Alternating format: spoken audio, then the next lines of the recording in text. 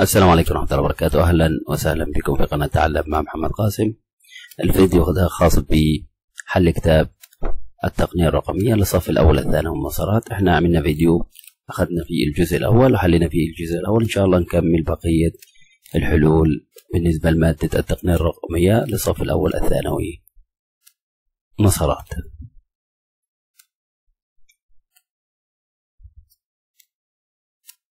طبعا زي ما بقول في كل فيديو لازم الأول تحاول أنت تجاوب بنفسك. إذا ما عرفتش ممكن تلجأ للحلول الموجودة في الفيديو.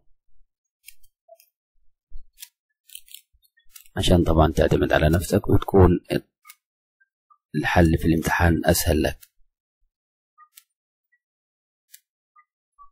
ده التدريب الأول.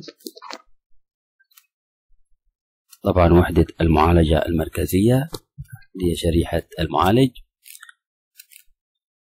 الذاكرة الرئيسية وحدة ذاكرة الوصول العشوائي. جهاز الإدخال هي لوحة المفاتيح. جهاز الإخراج طبعا الشاشة.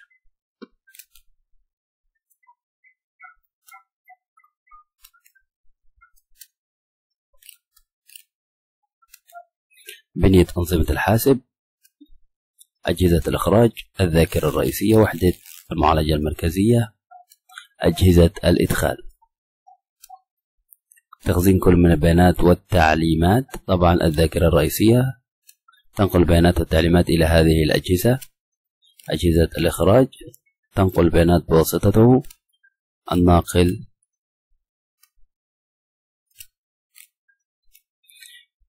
بي.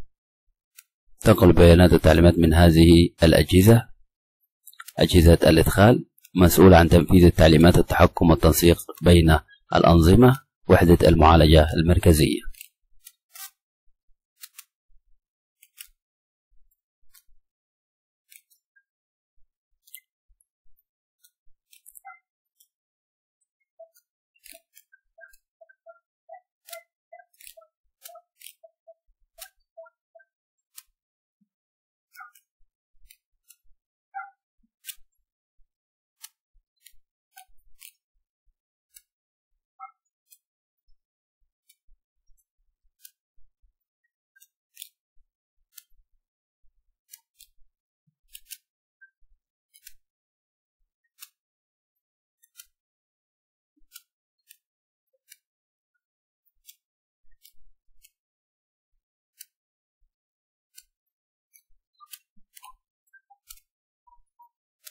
طبعا جميل. جميع الإجابات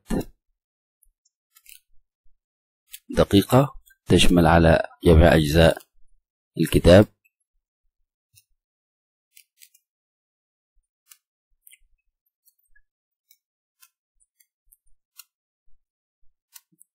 ده طبعا شرح في المنهج. بعد كده تبدأ الأسئلة.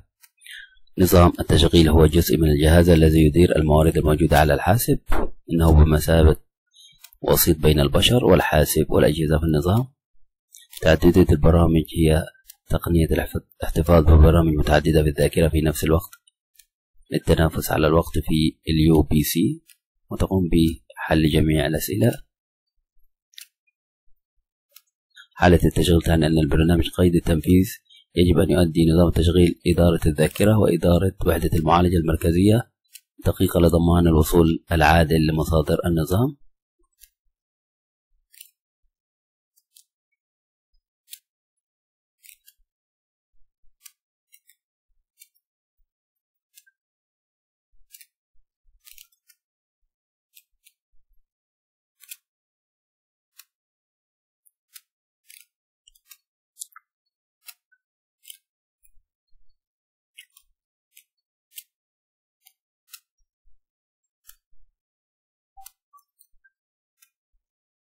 ده التدريب الخامس.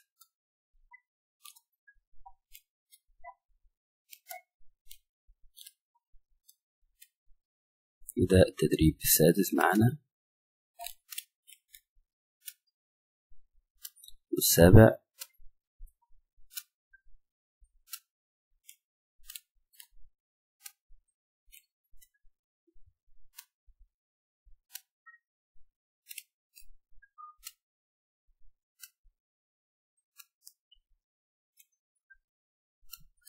ده التدريب الثامن طبعا وده نهاية الدرس الثالث.